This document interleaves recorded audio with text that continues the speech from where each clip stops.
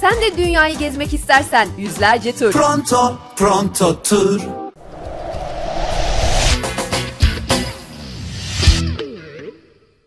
Eğer hazırsanız dünyayı geziyorumu Hong Kong'tan başlattık bile. Dünyanın en kalabalık, en güzel caddelerinden, en yoğun caddelerinden biri. Hello, Mapa. Ha, merhaba. Ben Hong Konglu. Evet, Hong Konglu. Hong Kong'a gelen turistlerin muhakkak gezip gördüğü yerler arasında meşhur çarşıları, pazarları da var. Kadınlar pazarına geldik.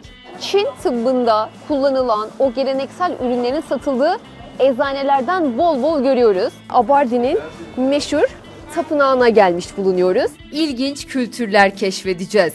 Ve işte şu anda Hong Kong'un en çok ziyaret edilen, en kalabalık, en turistik noktalarından birindeyiz. Hong Kong Boğazı'na geldik. Harika bir yer göreceğiz. Victoria Tepesi'ne geldik. Eğer hazırsanız dünyayı geziyorum. Hong Kong'tan başladı. Uh, ve çok uzun bir yolculuğun ardından artık Hong Kong Havalimanı'ndayız. Gerçekten o kadar uzun bir yolculuk yaptık ki inanamıyorum geldiğimize. Gerçekten geldik. E, aynen. Çok Ama keyifliydi. istiyorum, Ben hiç yerimden kalkmadım. Evet, Yasin bir oturdu, hiç kalkmadı. Ben uçakta bol bol yürüyüş yaptım. Tuvalete bile gitmedim. Aynen, tuvalete bile gitmedi yani. 10-15 saat orada durdu ve kaldı.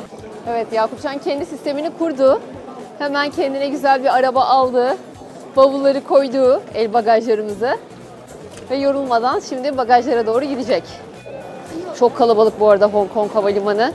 Hong Kong Havalimanı Asya'nın en kalabalık, en yoğun havalimanlarından biri. Aynı zamanda normal e, tabii ticaretin yapıldığı, ekonominin çok önemli olduğu bir ülke burası. Dünyada ilk 10 arasında yer alıyor ekonomisi güçlü olan ve ticaretin yapıldığı. Bu nedenle limanları, havalimanları, tren istasyonları hep yoğun ve hep kalabalık.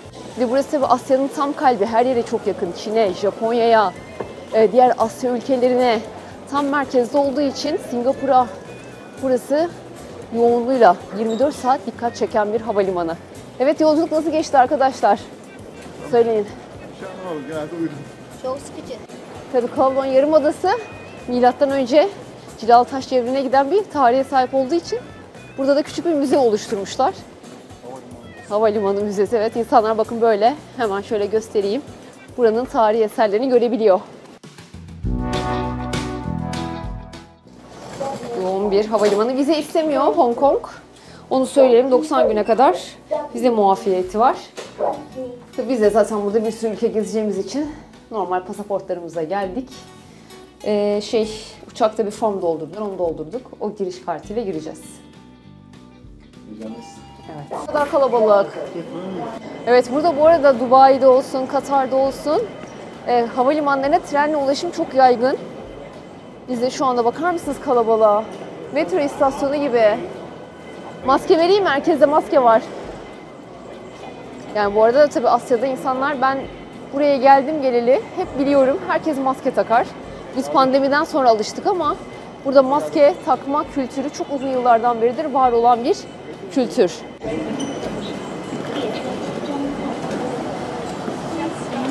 Havalimanı içerisindeki ücretsiz tren bu.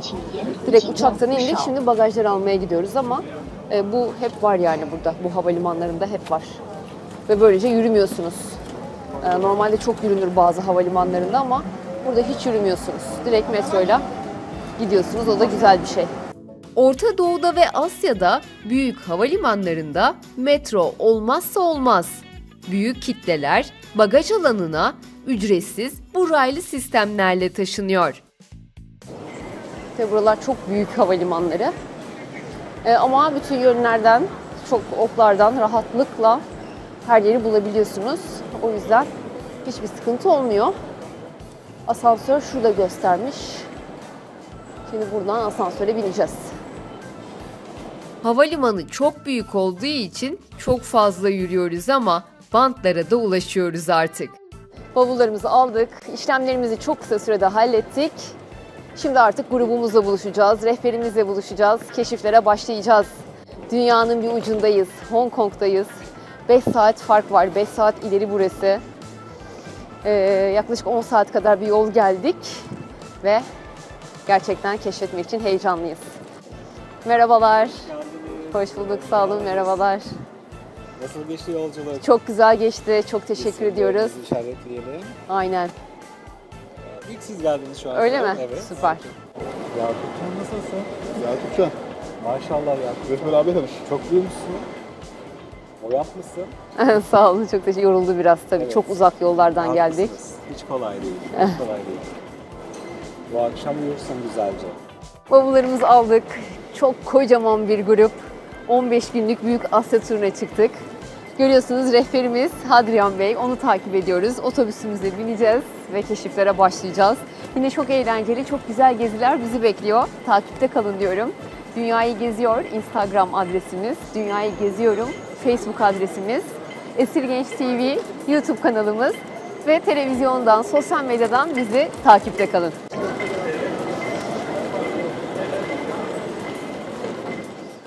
Havalimanından çıkar çıkmaz dinlenmek üzere hemen otele geçiyoruz.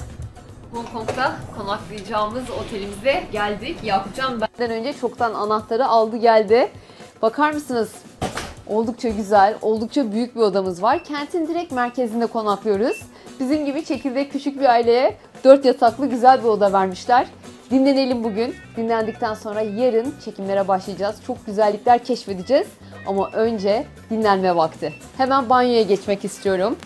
Şu çantamı şöyle bir bırakayım. Bavulumu da şöyle alayım. Evet. Banyomuz da gayet güzel. Bakın küvetimiz burada. İşte böyle güzel, rahat, konforlu bir otelde konaklıyoruz Hong Kong'da. Bir de manzaraya bakayım. Manzara var mı acaba merak ettim. Wow, gökdelenler tabii ki sabahleyin daha güzel görünecek ama gökdelenlerin arasında direkt Kowloon bölgesine konaklıyoruz. Yani şehrin merkezindeyiz. Öyle güzel dinleniyoruz ki sabahın erken saatlerinde gökdelenlerin arasında harika bir manzarada uyanıyoruz. Ve hiç zaman kaybetmeden kentin zirvesine doğru geliyoruz. Victoria Tepesi'ne isteyenler bizim gibi finiküler sistemle çıkabilirler veya isteyenler arabayla da gelebiliyorlar. Ama buranın en önemli sembolü finiküler sistem. Aşağıdaki istasyondan biniliyor ve tepenin zirvesine yaklaşık 10-15 dakikalık bir yolculukla ulaşılabiliyor. Bu minik finiküler her daim kalabalık. İnişinde de çıkışında da her daim büyük bir yoğunluk yaşanıyor. Hong Kong'da şimdi görülmesi gereken en meşhur köşelerden biri olan Victoria Tepesi'ne geldik ve yavaş yavaş grubumuzla birlikte Victoria Tepesi'ne doğru, o zirveye doğru ilerliyoruz. Ee, tabii serin bir hava var, onu söylemek istiyorum. Evet, Victoria Tepesi'ne artık geldik. Zirveye doğru ilerliyoruz ve mükemmel bir manzara gerçekten çıktı karşımıza. Şu anda Hong Kong Yarımadası'ndayız. Gökdelenlere doğru, Güney Çin Denizi'ne doğru şahane bir manzarada tepeye doğru ilerliyoruz. Çok güzel yollardan geçiyoruz bu arada. Ormanlar şahane, yemyeşil bir doğa var tabii ki burada. Seyir terasına doğru geldik. Evet, seyir terası şu anda artık olduğu gibi Hong Kong gözlerimin önüne serilmiş durumda. Yaklaşık 500 metre yüksekteyiz ve bu 500 metre yüksekte şu anda Hong Kong'un o mükemmel manzarası karşılıyor bizi. Victoria Tepesi ismini Kraliçe Victoria'dan alıyor. Yüzlerce yıl boyunca İngilizler burada tabii ki hükümlerini sürdüler. Ve bu nedenle İngilizlerin burada olması birçok noktada kendini hissettiriyor. İşte onlardan biri de Victoria Tepesi. Kraliçe Victoria'nın ismi verilmiş. Şu anda Hong Kong Yarımadası'ndayız. Karşıda Kowloon Yarımadası'nı görüyoruz. Tam ortada bakın görüyorsunuz Çin Denizi. Ve işte bu gökdelenler Hong Kong'un en önemli sembolü. Onu söylemek istiyorum. Çok zengin bir ülke. Dolar milyarderlerinin en çok, en yoğun olarak yaşadığı ülke Hong Kong. Gökdelenlerden de bunu anlayabiliyoruz. Ticaretin, bankacılığın, finansın merkezi burası. Dünyanın en önemli markalarının yer aldığı, gökdelenlerinin merkezlerinin bulunduğu bir ülke Hong Kong. Ve Victoria Tepesi'ne çıktığımız zaman da olduğu gibi zaten bu güzel ülke gözlerimizin önüne serilmiş durumda. Tabii çok küçük, yüz ölçümü çok küçük Hong Kong'un. Bu nedenle burada hep dikey mimariler ön planda. Görüyorsunuz inanılmaz uzun gökdelenler ve yüksek binalar bu kentin sembolü. Beğendiniz mi buraları şöyle? Hemen mikrofonu uzatıyorum size. Ailecek bakın. Beğendik. Merhaba. Oo, süper sen sevdin mi? Daha yeni geldik gerçi. Yeni başladık geziyor ama ilk durağımız Victoria Tepesi. Sevdin mi? Sevdim. Harika. Buradan Türkiye'ye selamlar. Evet vallahi çok teşekkür Herkese ediyoruz. selamlar. Bize iyi gezmeler diliyoruz size. Hoşçakalın. Sağ olun, görüşürüz. Finikilerden inince harika bir manzarada buluyoruz kendimizi. Victoria Tepesi 554 metre yüksekliğe sahip, görsel bir şölen sunan müthiş güzel bir tepe. Victoria Tepesi'nde hangi köşeye gidersek gidelim gerçekten mükemmel bir Hong Kong manzarası var. Rehberimiz Uğur Bey'i de bulmuşken hemen detaylı bilgileri sizden alalım. Evet, e, Özlem Hanım. Burası Hong Kong e, deniz seviyesine göre şu anda 552 metre rakımda bulunuyoruz. Zaten dikkat ettiğiniz üzere de e, hava sıcaklığı Burada değişti. aşağı taraflara göre epey fark etti. Dünyanın en güzel manzaralarından birine e, ev sahipliği yapıyor bu tepe, özellikle bu nokta. Karşı tarafta Hong Kong'un gökdelenlerini buradan kuş bakışı şeklinde seyir yapabiliyoruz. Özellikle karşısı, karşıdaki o yarımada, Kowloon Yarımadası. Hemen aşağıda bulunan bu gökdelenlerin olduğu kısım ise Hong Kong adasının e, kuzeyi olarak geçmekte. Ortadan Hong Kong Boğazı geçiyor ve bütün e, ticari veyahut e, büyük finans kuruluşlarının merkezleri özellikle bu bölgede şu sırada şu sırada yer alıyor. Ee, International Commercial Center ve International Finance Center şu iki yüksek Gökdelen. katlı binayı görüyorsunuz, gökdeleni görüyorsunuz. Ee, Hong Kong'un en yüksek iki binası olarak geçiyor. Tabii e, Hong Kong'un bir diğer önemli mimarisi ise hemen şurada göreceğiniz üzere bakın. Evet. Çapraz şeritli olan Bank of China yani Çin Bankası Evet. binası. Aslında hemen söyleyelim Hong Kong zaten Çin'e bağlı. İç işleri tamamen özgür ama dış işlerinde Çin'e bağlı. Çin'e bağlı doğrudur. Teşekkür ediyoruz Rica ederim. ve keşiflere devam ediyoruz. Hong Kong dünyanın en güzel adalarından biri. Alanı küçük olduğu için dikey mimarilerin yoğunluk gösterdiğini görüyoruz. Çok güzel, çok keyifli bir grupla geziyoruz. Tabii ki duygularını merak ediyorum grubumuzun. Beğendiniz mi? Neler düşünüyorsunuz? Evet, e, burasını e, Hong Kong'un kuş bakışı görünüşü olarak değerlendiriyorum. İstanbul'a benzettiğimiz zaman İstanbul Boğazı'nın Evet. tepeden görünüşü olarak ama gökdelenler olarak İstanbul'dan daha zengin bir e, yapıya sahip olduğunu değerlendiriyorum. Yani e, Hong Kong'un tabii güzelliklerini beğendim. Çok teşekkür ediyoruz. Ben Daha teşekkür çok ediyorum. güzel yerler gezip göreceğiz. Duygularınız İnşallah. önemli bizim için. Çok teşekkür Sağ ediyorum. olun. Size de iyi kolay gezmeler. gelsin. Sağ olun.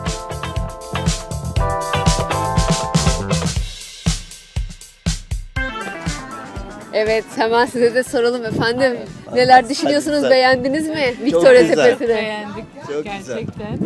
Bakar Her mısınız nasıl çok bir manzara ama? mükemmel, Mükemmel. Sizi de gördük çok iyi oldu. Ay sağ olun. Çok ben de çok olduk. memnun oldum gerçekten. Çok sağ olun. Güzel manzaralarda keşifler Evet. yapmaya devam edeceğiz. İnşallah. Sağ olun. Görüşmek üzere. Sağ olun. Evet harika ya bakar mısınız nereye gidersek gidelim işte bu güzel ülkenin eşsiz manzaralarını görüyoruz. Tabii Yasin'e de sormak istiyorum Yakupcan'la beraber onlar zaman zaman ayrı takılıyorlar zaman zaman bize eşlik ediyorlar. Bakalım neler söyleyeceksin. Bu manzara beni hep etkiliyor Özlem.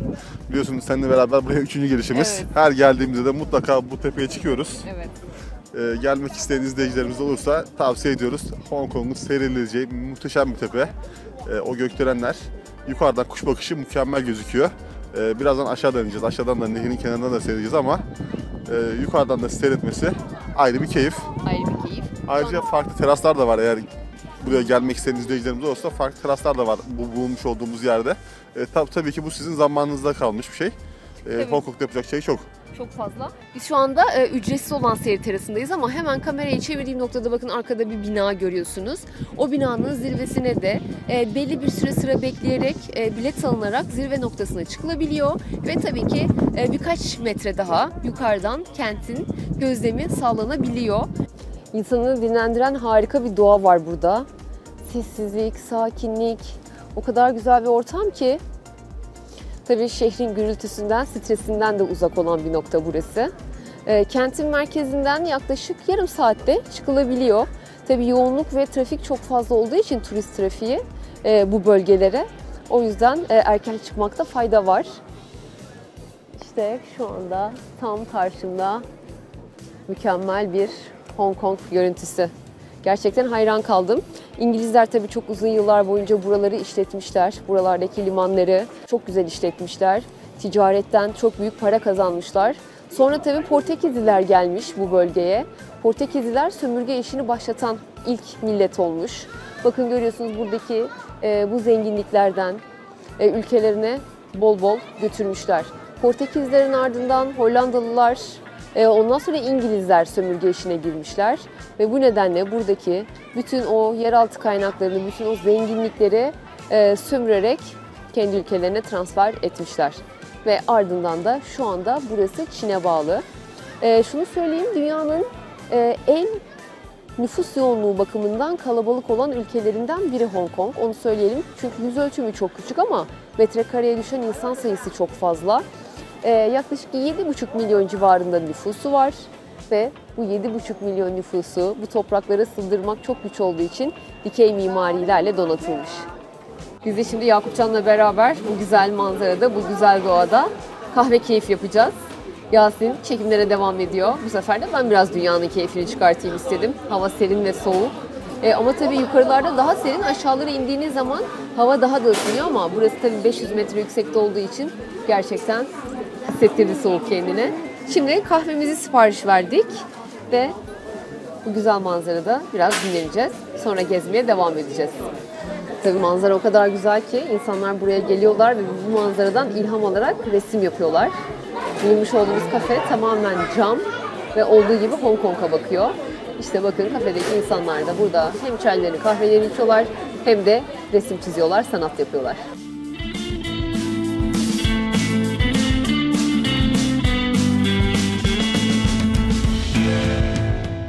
Victoria Tepesi'nde manzaraya bol bol baktıktan sonra artık toplanıp otobüsümüze geçiyoruz. Ve rotamıza çok ilginç bir yere alıyoruz. Bir deniz tapınağına geçiyoruz. Dünyayı geziyorum da şahane keşifler yaparken şimdi de Rupas Bey yani Gelgit Körfezi'ne gelmiş bulunuyoruz. Hong Kong tabi adalardan meydana gelen bir ülke. 3 tane ana karası ve 200'den meydana gelen irili ufaklı adaların yer aldığı bir coğrafya. İşte şimdi bu güzel körfezi sizlere göstereceğiz.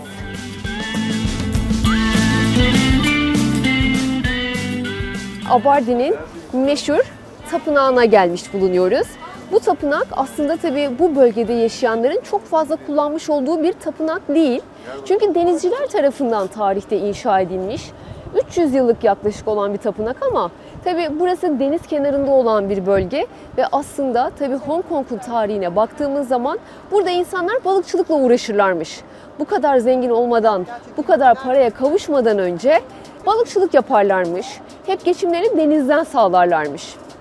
Ve işte o zamanlarda burada insanlar denizden gelecek kötülüklere karşı kendilerini koruyacağına inandıklarından dolayı denizin kenarına işte böyle bir tapınak inşa etmişler. Tabi denizcilikle uğraşılmadığı için yerel halkın fazla inandığı, gelip ibadet yaptığı bir tapınak değil ama tabi deniz kenarında olduğundan gelen turistlerin ziyaret ettiği, gezdiği bir tapınak.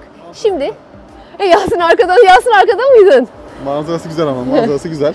Tamam. Yani tamam inançları bu şekilde ama manzara güzel bir manzara yapmışlar. Ama artık buna inanmıyorlarmış. Denizciler inanıyormuş buna, balıkçılar. Zaten herkes inançlarını, e, ibadethanelerini genelde en iyi yere, şehrin en iyi manzarasına koymak isterler. E, Burada da öyle olmuş. Bakın muhteşem bir manzaraya karşı adalar sağımızda, solumuzda çok güzel plajlar var. E, Onun yanına böyle bir tapınaklarını yapmışlar. Girişten itibaren renkli figürler, ihtişamlı bir giriş kapısı. Bu kapı tarzını Japonya'da da görmüştük. Bütün tapınakların girişlerinde oluyor. Hadi girelim. Hadi girelim bakalım neler göreceğiz. Çok renkli görüntülere tanıklık edeceğiz.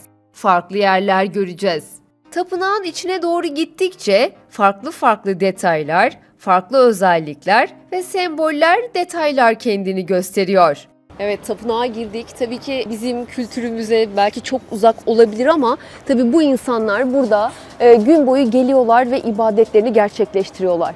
İşte hemen şöyle girer girmez bakın tapınağın önünde, o figürlerin önünde bakın dev dev figürler var burada. Bu figürlerin önünde ritüellerini gerçekleştiriyorlar. Gelmişler burada bakın tütsüler yakıyorlar, tütsülükler var ve bu tütsülerin e, önünde ibadetlerini gerçekleştiriyorlar. Dualarını ediyorlar bakın görüyorsunuz. E, bu bütün gittiğimiz tapınaklarda Asya'da hangi ülkeye gidersem gideyim, hangi tapınağı gezersem gezeyim görmüş olduğumuz manzara bu manzara.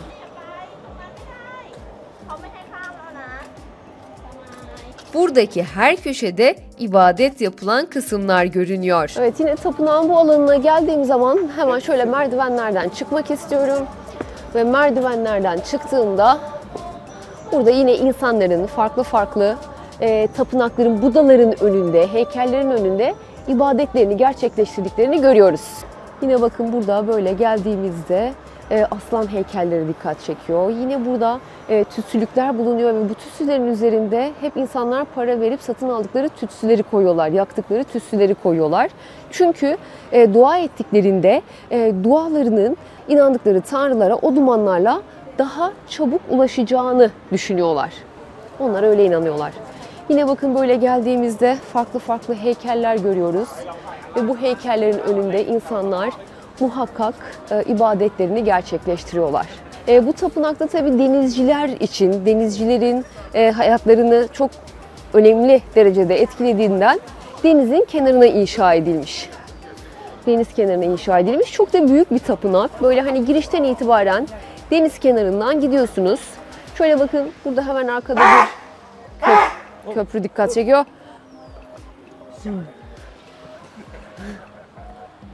Evet beyefendi öyle bir hapşurdu ki maşallah yer gök inledi.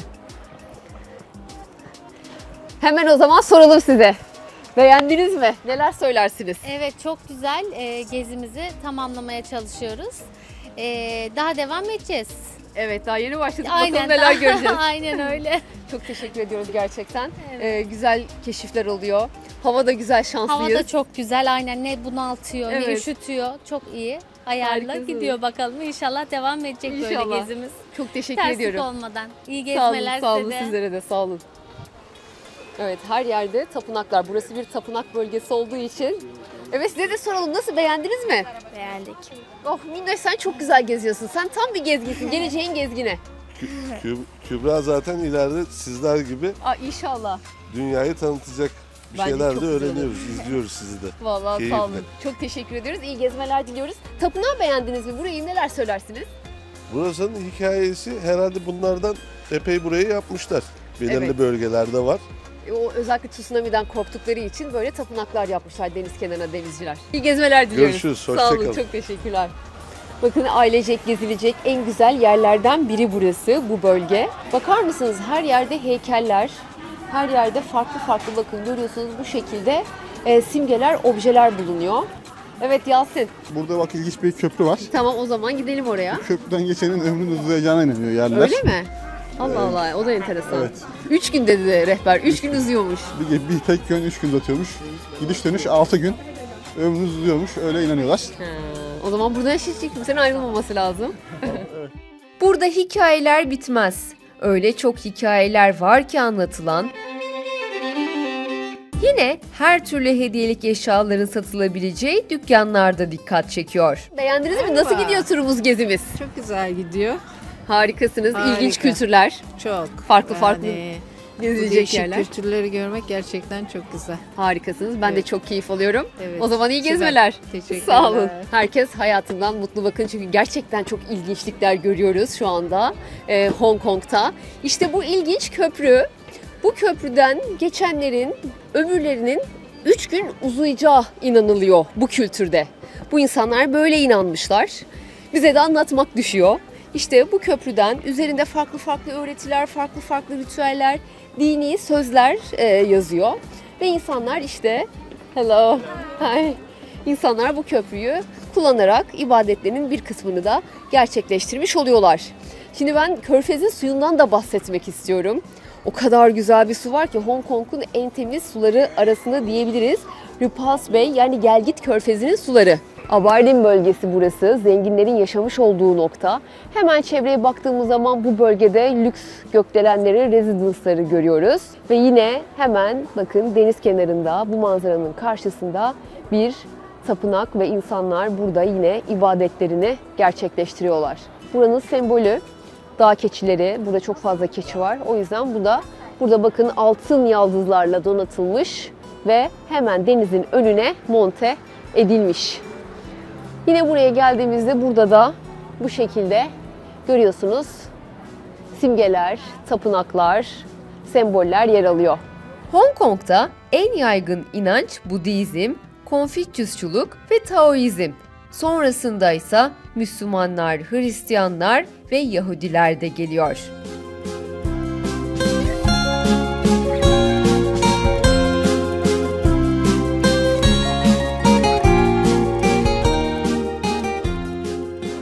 Gördüğünüz üzere bakın iki tane figür var burada. Aa evet. Ee, Bu figürler tanrıçalar. Denizden gelebilecek kötülükleri bertaraf etmek üzerine inşa ediliyorlar. E, tabii ki az önce otobüste de sizlere anlatmıştım. Tsunami kavramı 2004 yılında hayatımıza girdi demiştim. Endonezya'da meydana gelen 8 küsür şiddetindeki depremden sonra eski çağlarda da eski dönemlerde de e, bu tarz felaketler yaşanıyordu ama tanrıların kendilerini cezalandırdıklarına inanıyorlardı. Bu şekilde düşünüyorlardı ve denizden gelebilecek bu tarz felaketleri, kötülükleri görmüş olduğunuz bu figürleri inşa ederek Öyle engellediklerine inanıyorlardı öyle söyleyelim evet. Çok teşekkür Rica ediyoruz. ederim.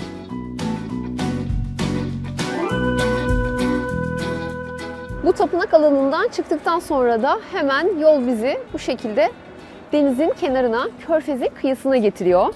Lupas Bey olarak isimlendirilen noktadayız. Yani burası Gelgit Körfezi.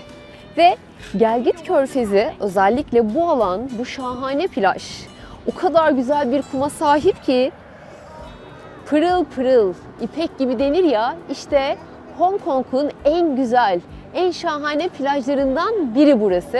Tabii zenginlerin yaşam sürmüş olduğu bir bölge olunca kumu da gerçekten çok farklı, tertemiz, pırıl pırıl oluyor. Şimdi yaklaşık 500 metre uzunluğa, yaklaşık 200 metre genişliğe sahip olan dev bir plaj burası.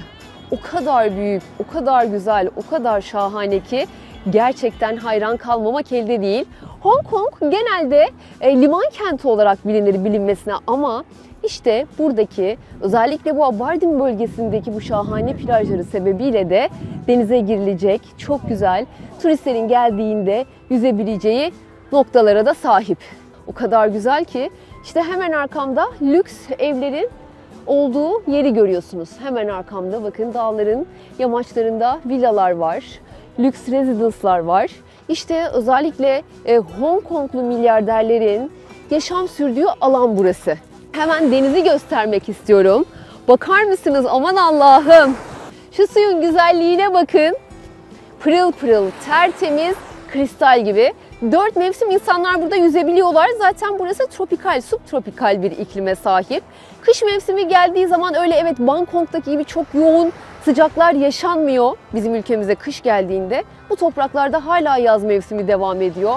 E, o yüzden de hani kışın burada kesinlikle öyle çok büyük soğuklar, çok böyle kar falan beklemek mümkün değil. İnsanlar dört mevsim burada denize giriyorlar ve şahane bir havada özellikle bu mevsimde de hiç bunalmadan rahat rahat tatillerini yapıyorlar. Güneydoğu Asya'ya doğru ilerledikçe, Tayland'a doğru ilerledikçe, Vietnam'a, e, Laos'a, Kamboçya'ya doğru ilerledikçe tabii e, hava daha da e, sıcaklaşıyor. Burası Repulse Bay, Gelgit Körfezi. Şu anda bulunmuş olduğumuz bu noktada tam sağ taraf Pasifik Okyanusu, sol taraf Hint Okyanusu. Hong Kong'da yer alan sular Çin Denizi olarak isimlendirilse de aslında bu sular Hint ve Pasifik Okyanusu'nun tam da birleşmesinden meydana gelen sular. Yani Hong Kong'a geldiğimizde hem Pasifik Okyanusu'nu görüyoruz hem de Hint Okyanusu'nu görebiliyoruz. Hong Kong çok kültürlü, çok uluslu bir ülke. Dünyanın her köşesinden insanların yaşam sürdüğü topraklar bu topraklar. Herkese hitap eden bu güzel tatil adasında öğle yemeğine geçelim hadi. Hong Kong'da güzel bir öğle yemeği vakti. Günümüz oldukça yoğun geçti. Karnımız acıktı. Şimdi thank you very much. Şimdi öğle yemeği yiyeceğiz. Güzel bir AVM'ye geldik ve bir e, et restoranındayız. Biftek restoranı. Ben kızarmış tavuk söyledim. Yakupcan da domatesli, makarnalı, e, kızarmış et parçaları söyledi. E, bir de aynı zamanda salatası var. Yakupcan'ın çocukların rahat rahat yiyebileceği, çocukların sevebileceği lezzetler olduğu için biz bu restoranı tercih ettik. Tavuğuyla da meşhur burası onu söylemek istiyorum. Tavuk yemekleri ön planda olduğundan dolayı Yasin'le ben de kızarmış tavuk söyledik. Porsiyonları oldukça küçük ama o dikkat çekiyor. Minik porsiyonlarla genelde e, servis yapıyorlar burada. Uzak Doğu'nun genelinde zaten Tayland'da, e, ondan sonra Japonya'da, Güney Kore'de hep bu minik porsiyon kültürü var. Burada da o şekilde çıktı ama çocuk menüsü çok hoş. Yakupcan'ın en sevdiği makarna ve et. E, ne kadar tuttu? Yasin'e hemen soralım. Yasin yaklaşık olarak e, 800 TL. Yaklaşık 3 kişilik e, güzel bir öğle yemeği 800 Türk Lirası civarında.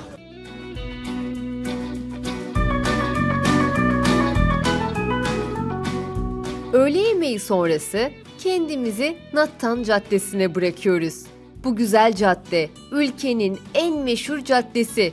Biz kadınların da çok seveceği harika alışveriş durakları var. Dünyanın en kalabalık, en güzel caddelerinden, en yoğun caddelerinden biri Nathan Caddesi'ndeyiz.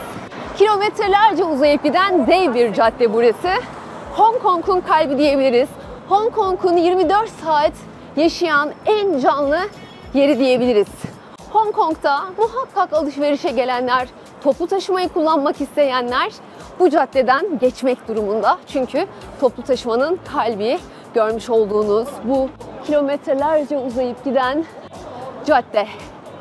Sağlı sollu dünyanın en meşhur, en lüks, en büyük AVM'leriyle dolu. Aynı zamanda geleneksel Çin tıbbının kullanıldığı, Çin tıbbında kullanılan e, eczanelerin olduğu, bakın görüyorsunuz, yöresel ürünlerin olduğu bu tarz eczaneler burada olmazsa olmaz. Cadde gerçekten o kadar büyük bir cadde ki şaşırmamak elde değil. Ve insanlar burada gerçekten gün boyunca aradıkları her şeyi bulabiliyorlar. Her şeyi. Özellikle buranın kuyumcuları, mücevher satıcıları oldukça meşhur. Farklı farklı tasarımlara sahip olan mücevher mağazaları oldukça dikkat çekici.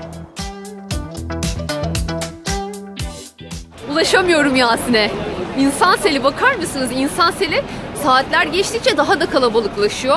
Tabi burada aynı zamanda çok güzel pazarlar da var. Tamam evet çok lüks alışveriş markaları, mağazaları var. Ee, insanlar bu dükkanlardan alışveriş yapıyorlar ama pazarları da meşhur. Gece pazarı, gündüz pazarı, kadınlar pazarı, hediyelik eşyalar, kıyafetler, takılar, e, çok pahalı markaların e, sahte olan ürünleri bu pazarda var. Alışveriş sevenlere harika bir cennet Hong Kong. Bir de bakın bu cadde üzerinde güzel bir cami kendini gösteriyor. Anne. Hong Kong'un en güzel camilerinden biri. Tabii ki burada Müslümanlar da yaşam sürüyor. İşte Müslümanların ibadet ettiği kentin tam merkezinde yer alan Nathan Camii. Nathan Camii. Ülke nüfusunun büyük bir e, ülke Kowloon bölgesinde yer aldığı için Kowloon Camii olarak da isimlendiriliyor. Ülke nüfusunun büyük bir kısmı belki e, Budistlerden meydana geliyor olabilir.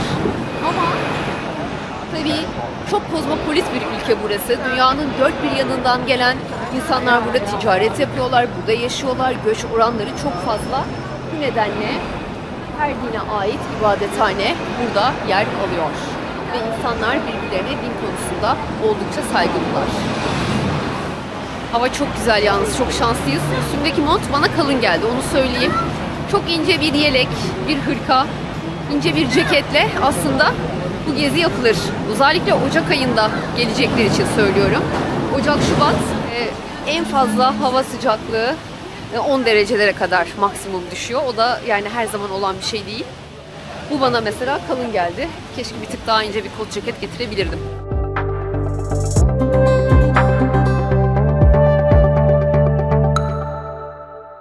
Buradan Hong Kong'un her yerine toplu taşıma gidiyor. Otobüsler var. Özellikle hepsi çift katlı. Bunun sebebi nüfusun çok fazla olması. birlikte aynı zamanda e, yer altından taşıma sistemi de mükemmel. Raylı sistemler çok hızlı dünyanın en hızlıları arasında bulunuyor. Hong Kong metrosu. E, bu sebeple insanlar çok hızlı ve e, çok pratik bir şekilde gidecekleri her noktaya bu ana merkezden ulaşımlarını sağlayabiliyorlar. Hong Kong, Güney Çin Denizi kıyısında, İnci Nehri deltasında Çin'e bağlı olarak özerk yönetilen özel idari bölge. 1104 metrekarelik topraklarında 7,5 milyon civarında insan yaşıyor. Bu topraklar 1842'de Afyon Savaşı'yla İngilizlerin oluyor. İkinci Afyon Savaşları ile beraber bu koloni Kavlon Yarımadası'na doğru daha da büyüyor. Gittikçe büyüyen bu topraklar bugün de eğlencenin adresi konumunda aynı zamanda. Çok keyifli eğlence alanları var burada ve biz de şimdi sizi Ocean Park'a getirdik.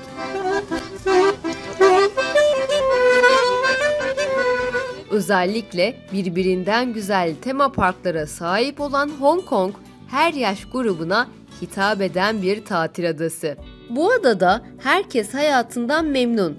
Özellikle bu tema parkları zamanın nasıl geçtiğini hiç hissettirmiyor misafirlerine. Ocean Park sabah çok erken saatlerde açılıyor ve akşam çok geç oluncaya kadar da açık kalan bir eğlence parkı. Özellikle bu tema parkında bu minik pandalar ilgi odağı olmayı başarıyorlar. Ye ye şu anda arkamızda. Sabahtan beri o çuvalla oyun oynayıp duruyor. Çok oyuncu bir panda. Bayan 11 yaşında. 3 tane panda yaşam sürüyor bu güzel bölgede. Ve işte üçünü de Ocean Park'ta görebiliyoruz. Çok tatlı canlılar. Tabii vahşiler ama burada böyle bütün sevimlikleriyle ziyaretçilerin karşısına çıkıyor bu güzel pandalar. Çok tatlılar ya bakar mısınız? Canı sıkılmış anlaşılan ama öyle oyun oynuyor kendi halinde. Çok tatlı.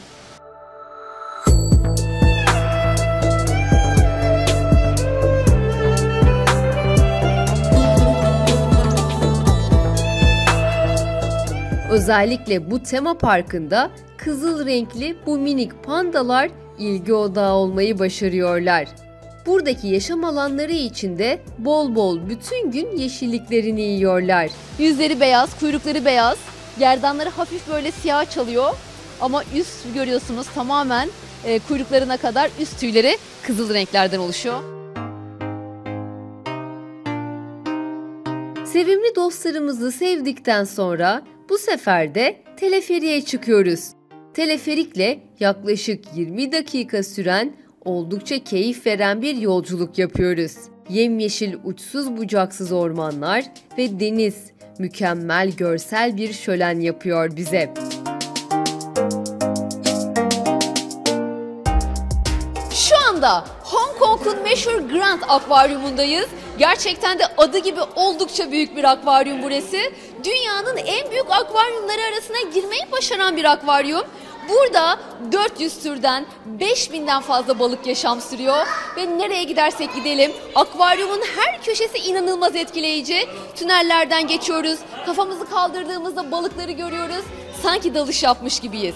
Su altında nasıl bir alem var? Muhakkak Hong Kong'daki Grand Akvaryum'a gelmek lazım.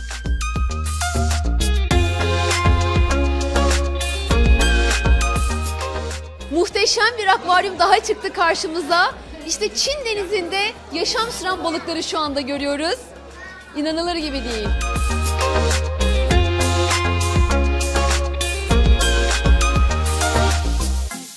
Ve bir dünyayı geziyorum'a daha ayrılan sürenin bu haftalık sonuna geldik. Bizi sosyal medyadan da takip edebilirsiniz. Facebook adresimiz facebook slash dünyayı geziyorum. Twitter ve Instagram dünyayı geziyor. Şimdilik hoşçakalın.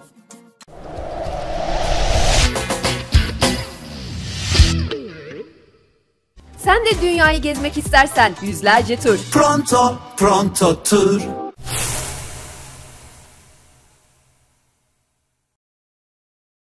Sen de dünyayı gezmek istersen yüzlerce tur. Pronto, pronto tur.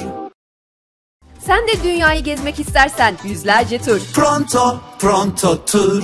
Daha fazla video izlemek için kanalımıza abone olabilir, ilk izleyen olmak isterseniz bildirimleri açabilirsiniz.